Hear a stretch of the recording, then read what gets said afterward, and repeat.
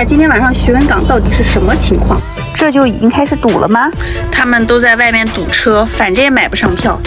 一月十四凌晨六点，昨天晚上洗完澡一觉睡过去，头发都是湿的。近水楼台先得月，昨晚就把车停在了检票口。睁开眼睛，第一件事先在网上买票。今天的票一张都没有了，只能买十五号早上十一点的。房车的收费是按小车算，连人带车四百一十五。趁着没人，赶紧去把票取了。下车的时候感觉车后面有人，我去，吓我一跳，一大爷在练太极呢。现在外面的雾这么大，也不知道今天轮渡的是什么情况。不到两分钟就到了取票口，不排队的感觉真真的好呀！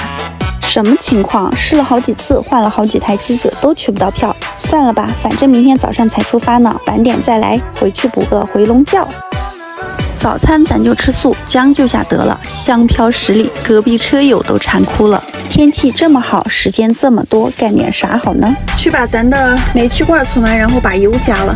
哎呀，找个地方去摆烂算了。就我跟别人走的路不一样，把工作人员都招过来了。干嘛过海啊？我明天的票现在可以过啊。现在过，我也得去把煤气罐存了呀。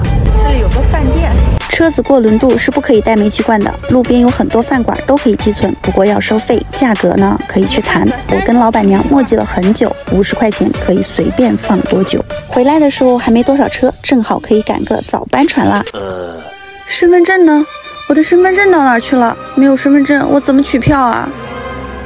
就我这样还出门？这两年没把自己丢掉也是万幸。我今天到底能过海吗？帮我想想办法吧。